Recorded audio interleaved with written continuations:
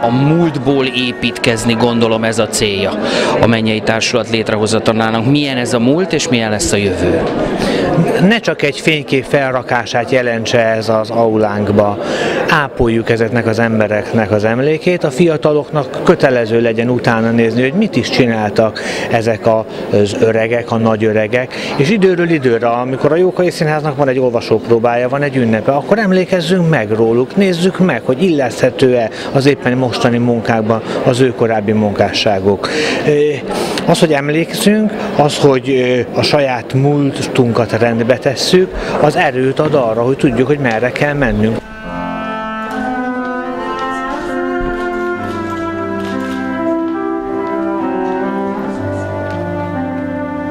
Nagyon szép gesztus volt a Békés Csabai Színház részéről.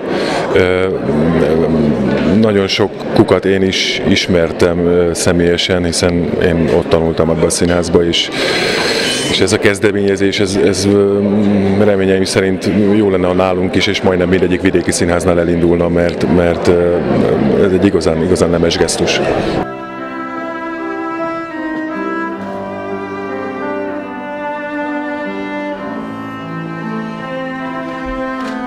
Meg miért pont itt derült ki, hogy kik a Békés Csabai Jókai Színház mennyei társulatának a tagjai? Kettős.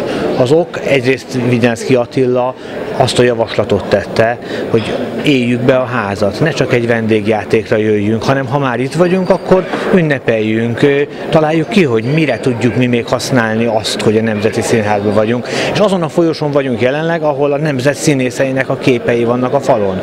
Mi volna ennél méltóbb hely, hogy a mi nagyjainkat és az ország nagyjait egy folyosón lássuk.